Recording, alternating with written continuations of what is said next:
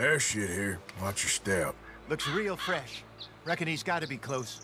Let's keep going. All right, where is this godforsaken bear? Oh no, it's Hosea that gets attacked. Okay. Here we go. The moment we've all been waiting for. This is going to be fucking terrifying. I'm... Oh god, okay, he's a big boy.